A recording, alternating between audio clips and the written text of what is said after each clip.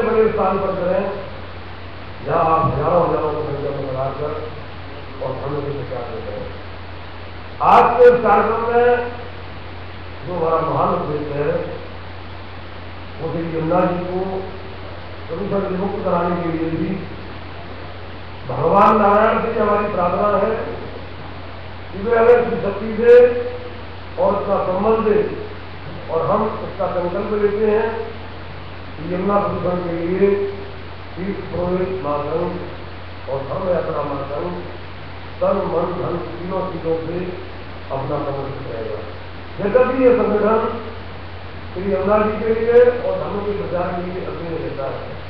लेकिन समय समय की बात होती है।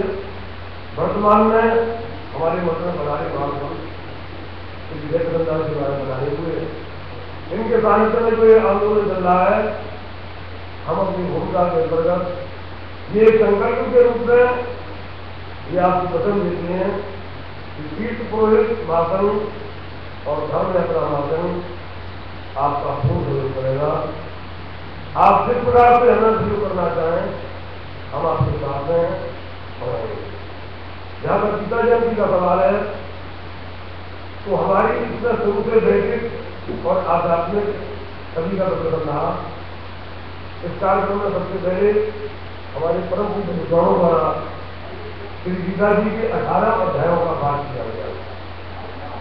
प्रभु की कृपा से ये गीता के अठारह जो अध्याय है, जिसमें मनुष्य के जीवन के अठारह अंग में ऐसा हमारे भगवान नारायण कहते हैं, गीता के प्रथम अध्याय में, माता लक्ष्मी जी ने जब विष्णु भगवान से पूछा कि प्रभु आपसे चिंता में और चिंता में सब हुए हैं?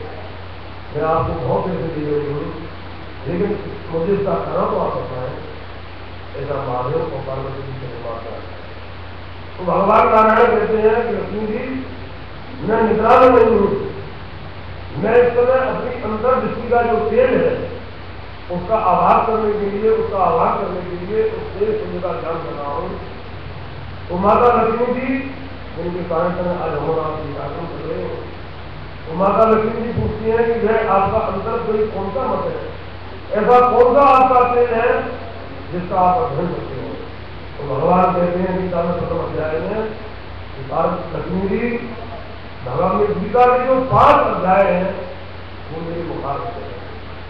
और गीता के जो दस अध्याय हैं, ये मेरी बुझाएँ हैं।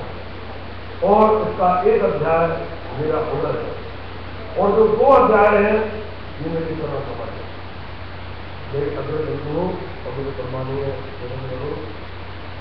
शायद हमारे संगठन ने यही निर्णय लिया है कि हम गीता के अठारह लोगों के माध्यम से और इन संप्रदायों को माध्यम बना करके देश देशांतर में गीता के माध्यम से का प्रचार करना चाहते हैं। यही हमारी भूमिका का कार्य है और इसी में हम आप